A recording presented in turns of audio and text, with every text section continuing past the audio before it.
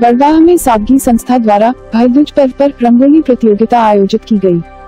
इस प्रतियोगिता अंतर्गत बड़वाह नगर में 1200 प्रतिभागियों ने हिस्सा लिया, जिन्होंने आकर्षक रंगोली बनाई, जिसमें बाहुबली, भगवान कृष्ण, स्वच्छता अभियान सहित आकर्षक दृश्य प्रस्तुत किए, जो देखते ही बनते थे बड़वाह नगर की सादगी संस्था द्वारा स्थानीय कलाकारों को बढ़ावा देने के उद्देश्य से प्रतिवर्ष रंगोली प्रतियोगिता आयोजित की जाती है जिसके विजेताओं को आकर्षक धनराशि, पुरस्कार स्वरूप प्रदान की जाती है।